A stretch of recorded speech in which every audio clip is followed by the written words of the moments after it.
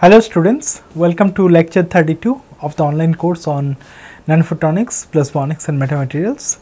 Today's lecture is on carpet cloaking and transformation optics metamaterials. So here is the lecture outline. We'll briefly discuss about carpet cloaking. We'll introduce this topic along with some theory and discuss some applications.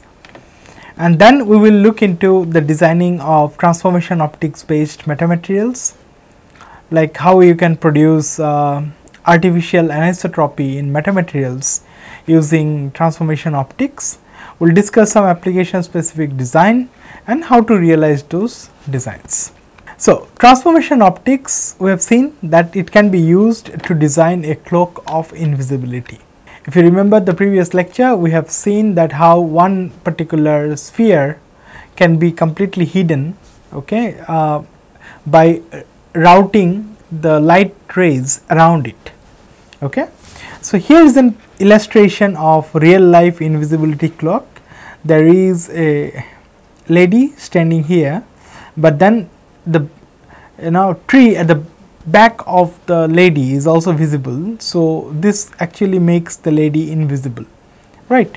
So, to put it forward the only way to achieve actual transparency would be if the electromagnetic waves coming from the behind the object could somehow still arrive okay, with the same trajectory in the front of the object as though the electromagnetic waves were transmitted directly through the object. So, that is the way you can achieve invisibility.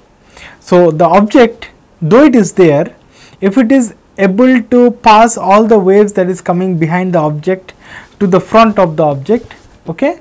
Whatever manipulation you do around the object that is a different matter okay? But then the rays will look like as if there is no uh, you know object present.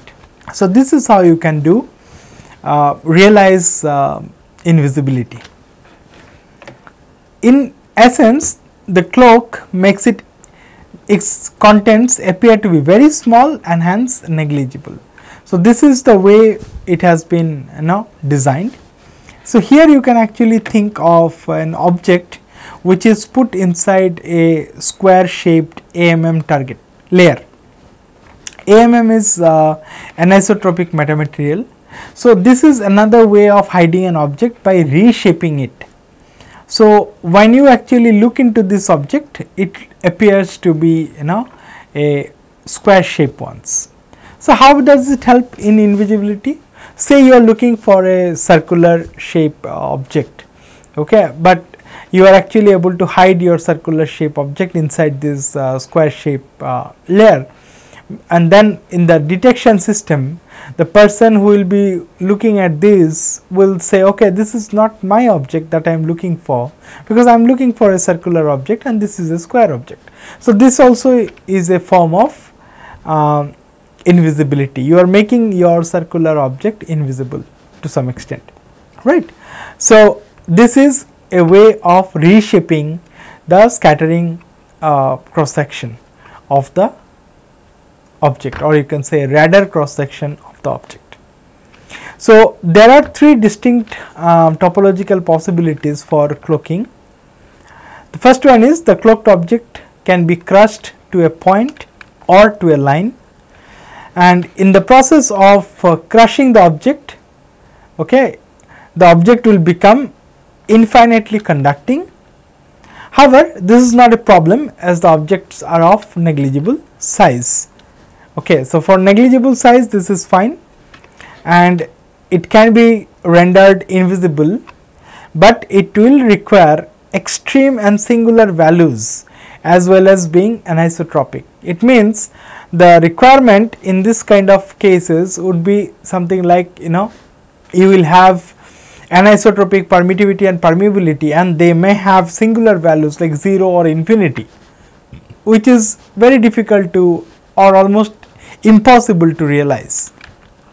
And the third possibility would be to you know crush the object to a sheet and in that case the sheet is highly visible and only way it can be made invisible if it sits on a conducting sheet so that this particular one is not distinguishable. Okay. So, you can understand that this is uh, more limited in its uh, application, but the invisibility here can be rendered without extreme values and with isotropic materials. So, this looks like a possibility to do it in real life because here you do not actually require those extreme values of permittivity and permeability and you can use uh, isotropic materials to realize this kind of a sheet. Okay. So, this kind of cloaking is called carpet cloaking. okay. So, here a cloak can help you mimic a flat ground plane. Okay.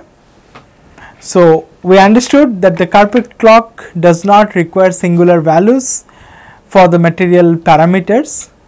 Thus, the range of permittivity and permeability will be much smaller in the case of a complete cloak. Okay? And you can see here that this is the object you are trying to hide there is a ground plane and then you are trying to put a cloak over this object so that you know it is indistinguishable from you know the overall thing is just like this virtual system okay? So the signature from this object will not be coming out okay? It will behave as if there is a just a plane ground plane okay? Nothing else.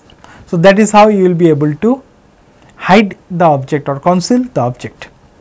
So here this shaded region as I discussed they reveal the ground planes and the observer will perceive the physical system as the virtual one with a flat ground plane because you have put the cloak on it.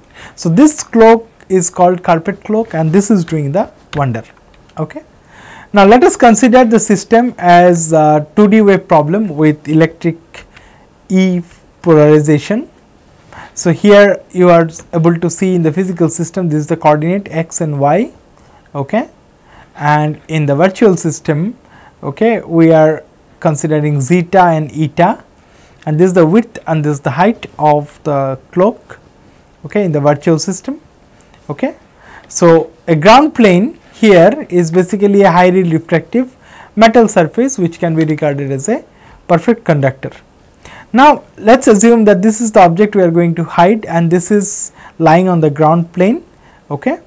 So, you are basically covering it and once you cover it, it should behave like you know the overall thing should give you a feel as if it is just a flat ground plane there is nothing on top of the ground plane. Okay. This is how you will be able to conceal the object that is shown in the figure. Now, let us assume that the cloak is basically a rectangular uh, size cloak which has got a width of w and height of height of h just that the bottom inner boundary is basically curved upwards like this to leave some space for the object okay? And the whole configuration this particular configuration in a is called the physical system and it has got a coordinate of xy or you can say x1 x2 if you want to use the indexed notations on the other hand, if you look at B that shows the virtual uh, configuration and this is what the you know observer should see. Okay. So, the coordinates there can be leveled as zeta and eta or you can simply say take zeta 1, zeta 2, okay, whatever notation you want to follow. Now, in general, we will now consider a coordinate uh, transformation which maps a rectangle, this particular rectangle okay, in the virtual system to an arbitrary region okay, like this in the physical system. So, we have to find out the Jacobian matrix. That is A of i j that will be nothing but dou xi over dou zeta j okay. And here you can take zeta 1 zeta 2 or you can take zeta eta. It is better to go for uh, this zeta 1 zeta 2 notation okay they are the basis vector of the virtual uh, coordinates which are appearing in the physical system. Okay. From that you can also obtain what is a um, covariant matrix that is given by G. Okay. G is nothing but this Jacobian matrix transpose multiplied by the Jacobian matrix that is A transpose A. Okay. So, what happens in this case? So, for cloaking the observer perceives the physical system as an isotropic homogeneous medium of permittivity epsilon ref that can be any value and mu ref is basically 1. So, this is the whole thing. Okay. So, here you are basically keeping your permittivity to be 1 and your um, this one the permeability to be 1 and permittivity can be anything and that makes the system more realizable because you are able to change the values of uh, permittivity easily as compared to you know permeability in metamaterials also. So, the corresponding physical system induced by the coordinate transformation will be given by this. Okay. So, this uh, epsilon is basically epsilon ref over determinant square root determinant of the covariant matrix G and uh, you can also obtain what is the permeability mu ij that will be given by A A transpose over square root of determinant of G. With that you will be able to write down what is the transverse and longitudinal values of the permeability. Okay. So, these will be the principal values for the permeability tensor in the physical system. So, once you know this you can find out what is the refractive indices they will also be like NT and NL. Okay. So, T is the transverse one and uh, L is the longitudinal one okay and you can find out it to be nt equals square root of mu l epsilon and nl is basically square root of mu t epsilon okay so these are for the two local plane waves that are traveling along the two principal axes okay? Now to indicate the extent of anisotropy in the physical system the anisotropy factor okay that is alpha okay it can be defined as maximum of this ratio nt over nl or nl over nt okay? So whichever is the maximum that defines alpha and that actually gives you the anisotropy ratio so we understood we have got all these things for our uh, carpet cloaking. We first got the jacobian matrix then we have the covariant matrix. We also find out the anisotropy factor. And you can uh, prove that um, that alpha plus 1 over alpha is basically trace of the covariant matrix divided by the determinant square root of the determinant of G. Trace is basically the summation of the diagonal elements of this matrix okay and this is assumed that mu L and mu T will be 1.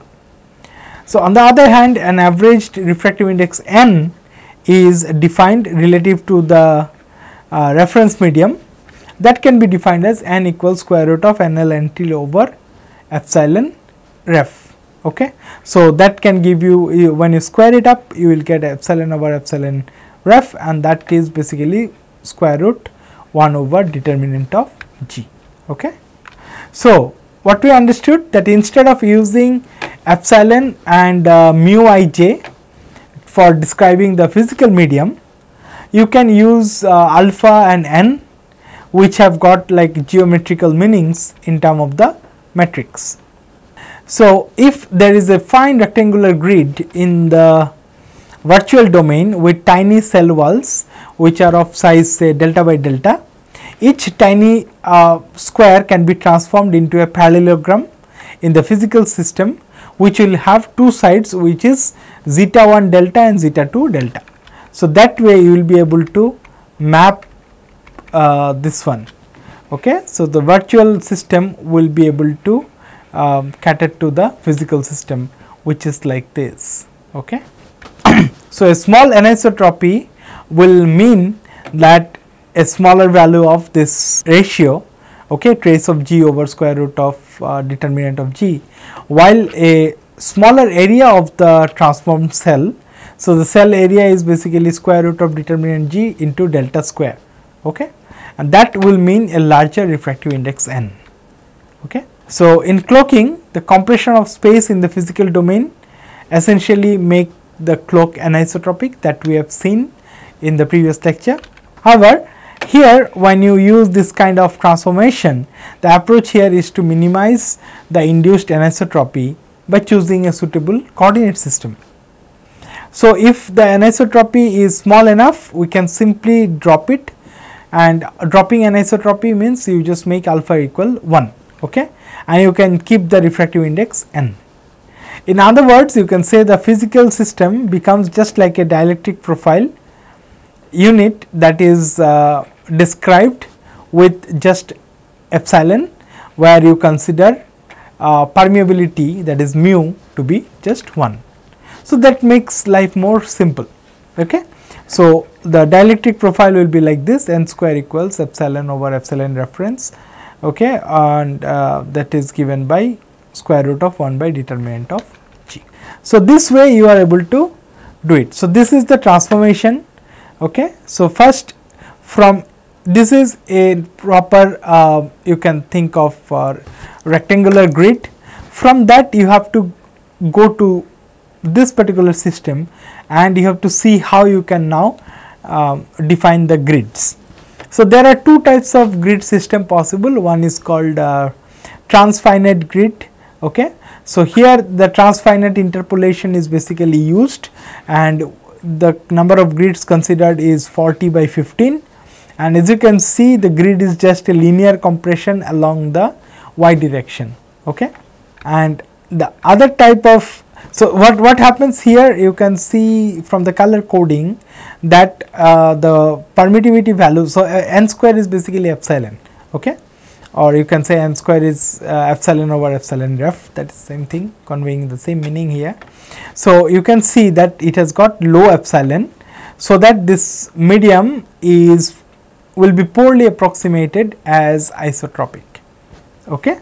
Whereas you can use another type of uh, mapping. And that map turns out to be the optimal one which is generated based on modified Liouville functional. So, you can use this kind of a function to generate another mapping and that particular mapping is called quasi conformal mapping. Okay. So, what happens here in this particular uh, uh, grid all the grid lines are basically orthogonal. Okay. So, how it helps? The aspect ratio of each cell or you can say the anisotropy factor alpha becomes a constant okay? And the value will be um, around 1.042 while your n square is ranging from 0.68 to 1.96 okay? So anisotropy remains same in this case okay?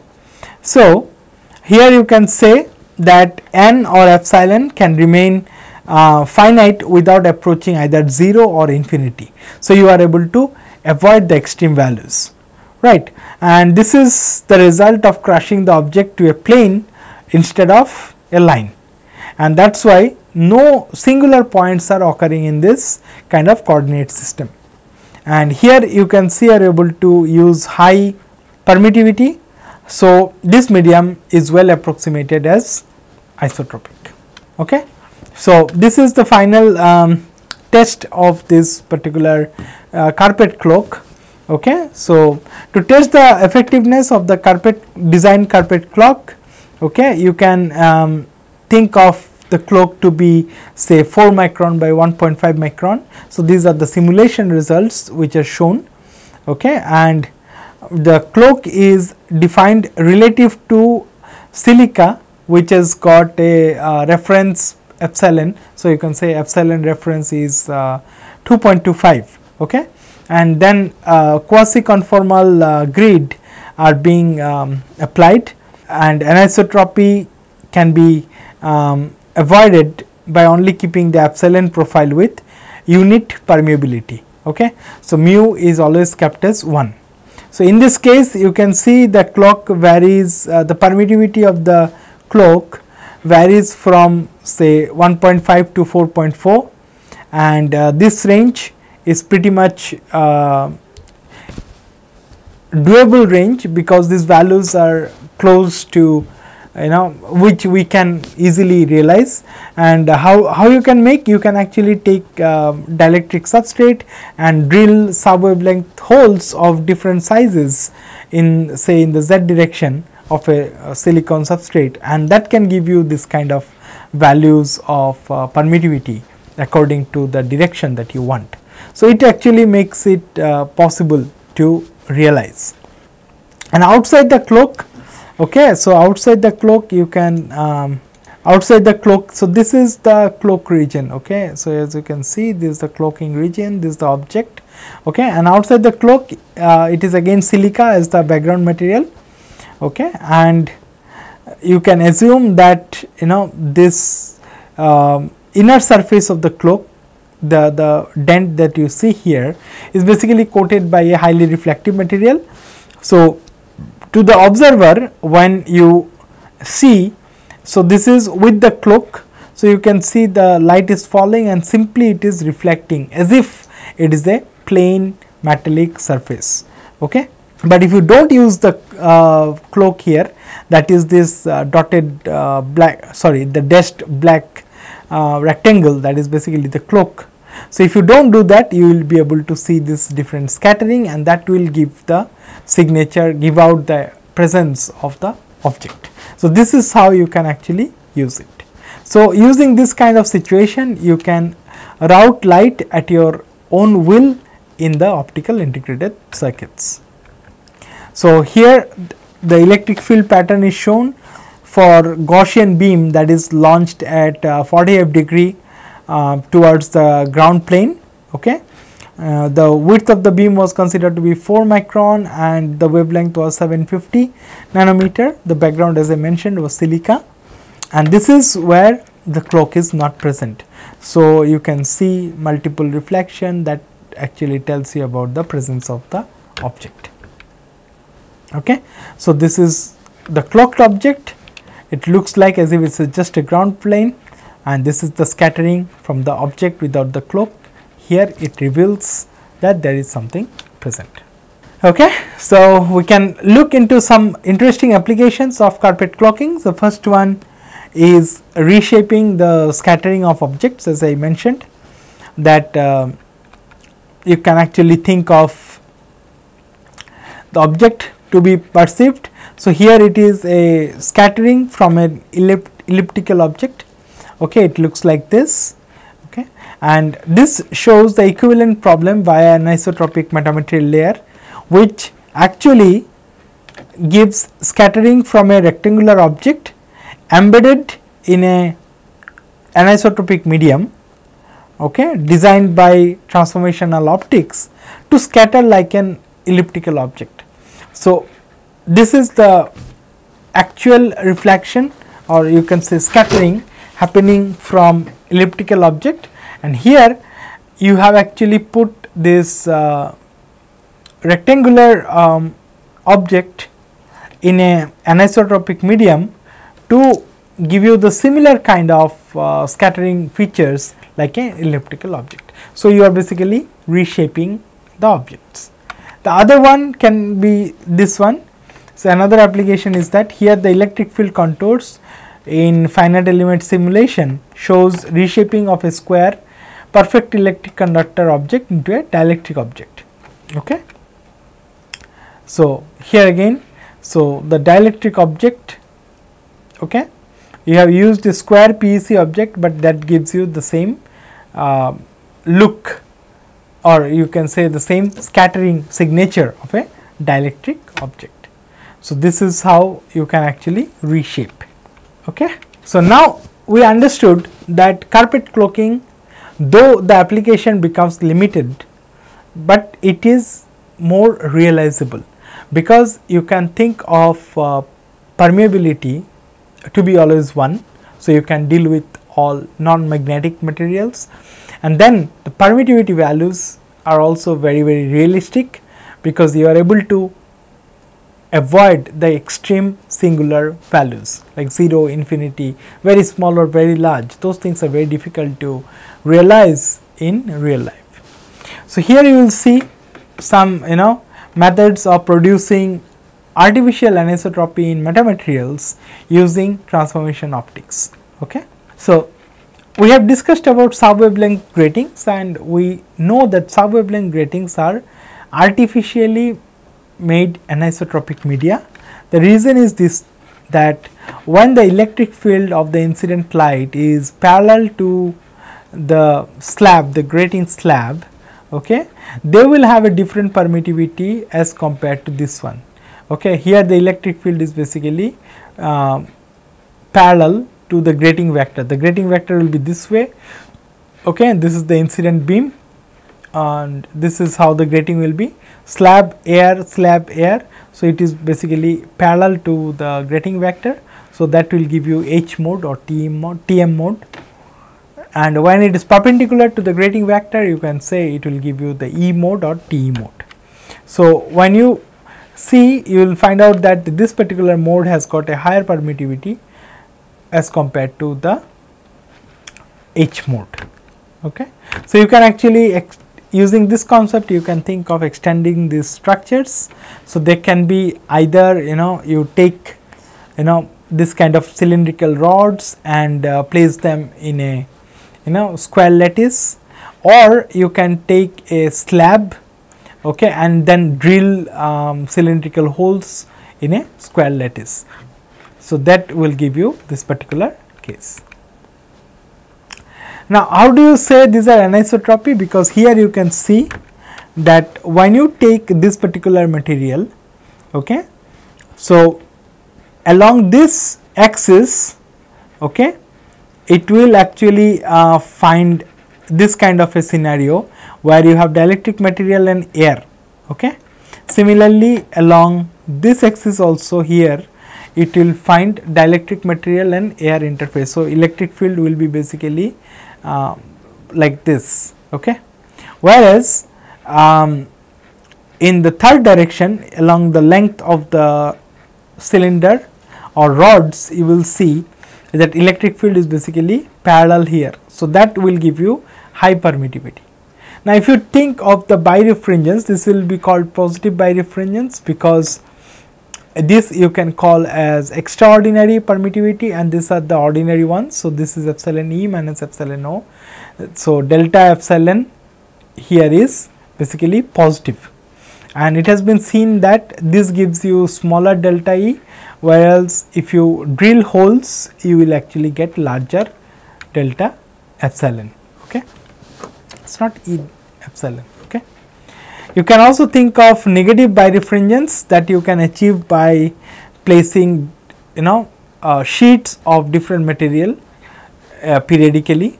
So say you have uh, epsilon 1 and epsilon 2 two different materials and they are they are alternating. Okay in that case along the material you have high permittivity along both x and y but this is a grating. Along the grating you will have low permittivity okay? So this will now your extraordinary one. So epsilon e will be smaller than the ordinary permittivity. Right? So why we bother about all this? Because when we discussed about you know the applications of transformation optics in the previous uh, lecture we saw that we require you know this kind of uh, anisotropic materials. Something like we will just take an example. Say you want to stretch this particular uh, coordinate system okay? And that will help you move the objects apart okay? But then the stretching in reality should be accomplished by replacing the right hand side this particular colored half with a new kind of material so that the rays actually remain in this particular slope. So, this was thoroughly discussed in the last lecture. So, I will not go into the details of it again. Okay.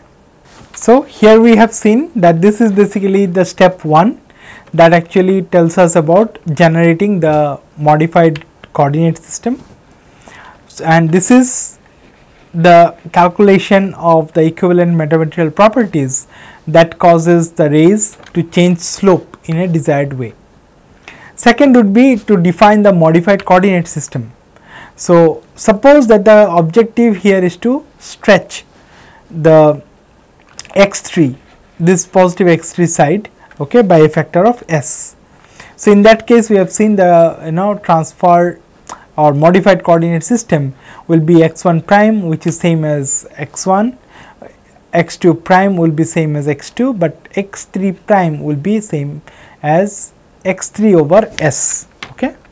So this is the, how we have done also in the previous lecture. We have seen that the goal is to end in a standard uniform Cartesian coordinate system and the you know uh, stretching property should be now incorporated in the material. So, for this start with a stretched coordinate system like this okay, and then you think that the coordinate system must compress in space and that should help us obtain the equivalent permeability and equivalent permittivity of that particular stretched space something like this. So, this will be the new material which will have this equivalent permeability and permittivity. So, we have seen the calculation of Jacobian matrix. So, if this is the new coordinate system you can find out uh, the Jacobian matrix and it is basically 1 0 0 0 1 0 and 0 0 1 over S. So, this is what we require and once we have the Jacobian matrix you can calculate the perme permeability the equivalent permeability using this formula that is A transpose mu naught A over determinant of A and doing this particular maths you can find out that it comes out to be S mu 0 0 0 S mu 0 0 0 mu over S. Okay. Similarly, the same same thing will also apply for the permittivity okay, and you can obtain the permittivity values to be this one. So, it is S epsilon 0 0 0 S epsilon 0 0 0 epsilon over s. So, with this particular values you have now able to get that kind of bending. Okay.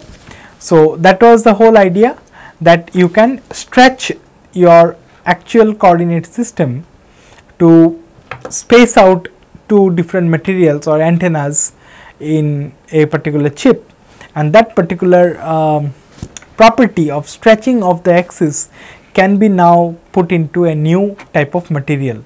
So, you do not need to physically change the length of the space, but you can change the material so that equivalently that particular stretching effect is taken into consideration.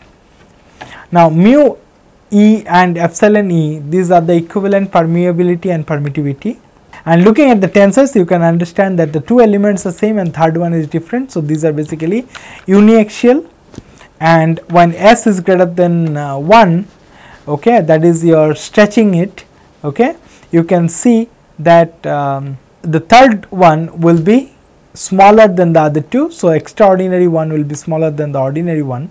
So, this we can name as negative uniaxial uh, crystal okay, or metamaterial. So, that is how NUM negative uniaxial metamaterial the term has come. Now, the again the question comes back to us that how do we actually realize negative uniaxial metamaterials.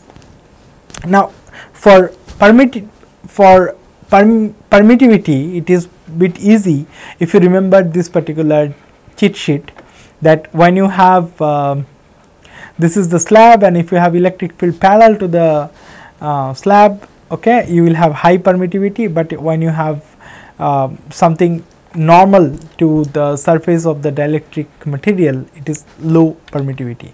Okay? Using this you can actually think of designing negative uh, uniaxial metamaterial. Okay? And we have seen that new negative uniaxial metamaterial basically comprise of alternating layers of uh, dielectric like epsilon 1 epsilon 2 repeated.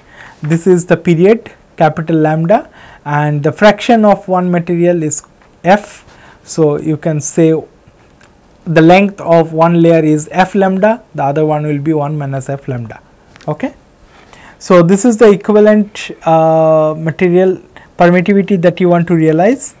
So, you have epsilon O that is S epsilon and epsilon E the extraordinary one is basically epsilon over S. And from this you can also find out what is your S stretch factor that is basically square root of epsilon O over epsilon E and epsilon is nothing but square root of ordinary epsilon and uh, extraordinary epsilon. Okay. Now, where this is important coming back again that you can use this kind of uh, negative uh, uniaxial metamaterial to implement the stretching factor. Okay. Say you have uh, two antennas on a chip which are very closely spaced, uh, but ideally you want that space to be say the distance to be say 10 times or 100 times more, but you are not able to do that because of the limitation of the chip size. In that case you can actually put a negative uh, uniaxial metamaterial that will implement this uh, stretching within that small uh, gap. So, equivalently okay, you will be able to um, say physically the antennas will be located where they are, but then they will feel the waves will feel that as if they are far away from each other. Okay. So, this is what we are trying to achieve. So, S epsilon 0 0 0 S epsilon 0 0 0 epsilon over S. So, you can see that it is high along two axes and small along uh, one axis okay and these are the parameters that you have already discussed. So, you can actually put this alternating layers of two material and that can give you this particular negative uniaxial metamaterial. Now, for negative uniaxial metamaterial, you can if you have smaller contrast between epsilon 1 and epsilon 2, your effective values also will be small. And here you can see extraordinary is always the red one is extraordinary that is always smaller than the um, epsilon naught. And this is the fill factor where you can get the maximum anisotropy okay? And if you consider larger contrast between epsilon 1 and epsilon 2 then you will be able to achieve higher you know delta um, that thing also uh, anisotropy and at larger fill fraction. So, this f is basically the fill factor at which maximum anisotropy is achieved and in both cases you can see this is negative uniaxials that is why epsilon e is much smaller than your epsilon o.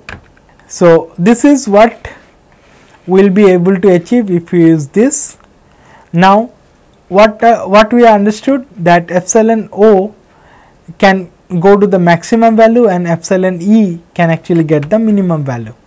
From this graph you can understand okay, that the maximum value can be achieved by this one and the minimum value by the epsilon e okay and you can also find out the fill fraction okay so these are the limiting values that you can achieve using different fill factors.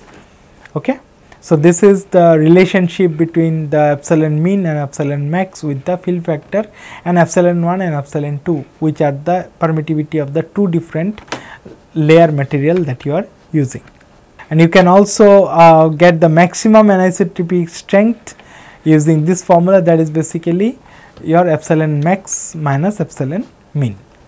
So, with that you can op optimize and find out the value of the fill factor that will give you the maximum anisotropy and that turns out to be this and when you have that particular fill factor you can also find out what is that anisotropy that you are able to achieve.